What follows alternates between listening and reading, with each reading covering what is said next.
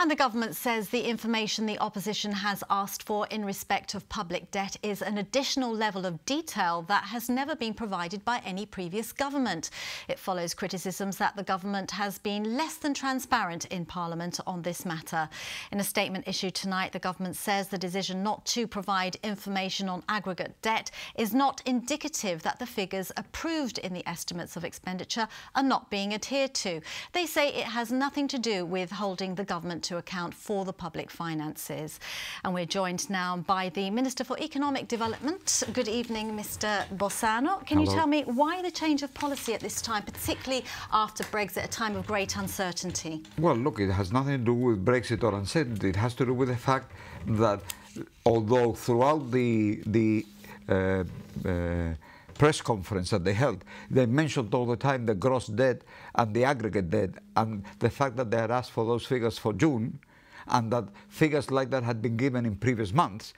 What they didn't say was that the trigger that led to the policy decision was that they introduced new questions, additional questions, which were asking not simply about the debt, but asking when did you put the money in the bank? In what kind of account did you put it? How much is there? Well, look, at the end of the day, that level of questions are about the internal machinery of the government. This is a, this is not a questions that But anybody has ever asked any government in the 44 years I've been in power. But parliament. have you not been providing monthly estimates not yet. over the Not- past five years? Not of the information that they asked this time. What I have provided before is something that, in, in effect, uh, has little meaning, and that is the only thing they mentioned in their conference. In their conference, they said to you, look, we used to get these figures before, and we haven't got them this time. Well, look, the figures this time they asked for were in addition to what they normally got. What they normally get is a figure which is the figure that is in the estimates and whether there's been any change. It has very little significance in terms of holding uh, uh, anybody to account because what can be held to account is what we put in the budget and the opposition then, I've been in opposition longer than anybody else, 32 years. And you hold the government to account on the basis of what the government says it is going to do. So if we say the aggregate debt is going to be 446 million, right? And in a year's time it will be 442, you hold me to account on the accuracy of the figures that I've given you. Okay, but didn't you say that you weren't going to provide the figure because you couldn't guarantee that it could be accurate? Well, given the use to which they put the information, you must remember that, that the way that, that the, the, the they're talking about the difference between the aggregate and the and the net debt.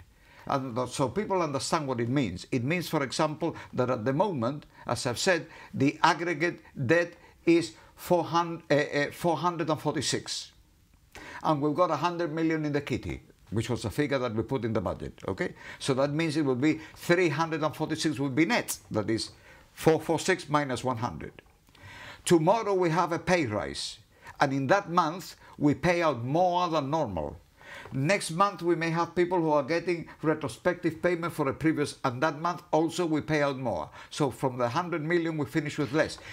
The, the differences in the net debt is not the result of borrowing or not borrowing. It is the result of the fact that, as our press release explains, and as I've ex- explained on innumerable times to my good friend Roy Clinton, although I don't expect he needs to have it explained, but it doesn't seem to, to sink. Any business, and the government, like a business, has got a cash flow where for one day you may get a lot of tax payments coming in. A couple of days ago, we had a big tax payment by a company. But sorry, I have to interject here Yeah. and ask you, when are you planning to release these figures next? Because you said something at the end of the financial year. No, no, at the end of the financial year, the figure will show whether we are right in the prediction of 442. But will you I be providing figures next month in Parliament? No, we'll not be providing the figures for the details that they've asked for.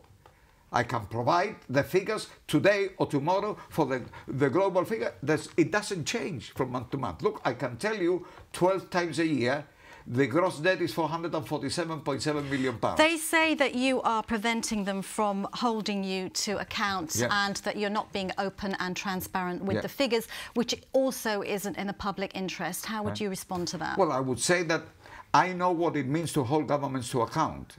And I never needed in the 32 years to hold them to account or the AACR to account and I did a very good job of holding the government to account. So if they don't know how to do it, I'm not here to give them lessons, but it's complete nonsense to suggest that they cannot hold the government to account if they don't know whether the reserves are 900 million or 1 million or because the fluctuations. You, sorry, I have to just ask you one final Sure. question.